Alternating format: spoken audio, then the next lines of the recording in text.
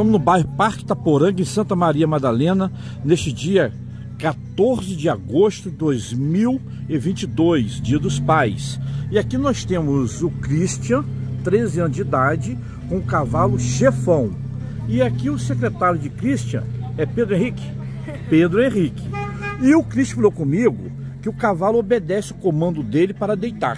E nós vamos conferir isso agora. Vai lá. Chefão, caiu, caiu. Chefão, caiu, caiu. Caiu, caiu, caiu. Chefão, caiu. Chefão, caiu, caiu, caiu. Chefão, caiu, caiu, caiu. Caiu, caiu, caiu, caiu, caiu. Tá aí, aí que bacana, olha. Aí, obedecendo o comando de Cristo, o cavalo chefão deitou. Aí, que legal. É que ele deitou em lugar ruim. Mas já vimos que ele obedece o Cristo bonitinho, hein? Aí que legal, gente.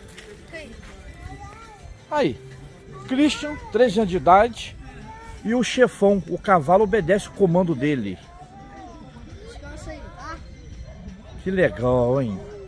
E aqui temos o Pedro Henrique e quem? Rian. Tá aí.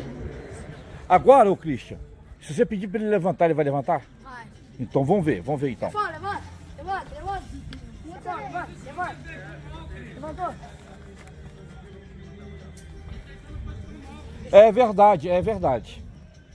Eu falei aqui, ele deitou um lugar ruim. Mas ele obedeceu o Christian, hein? Ó, o Christian, parabéns, que lá em casa nem cachorro me obedece. Chefão, levanta. Ele deitou na posição. É, é, é, é,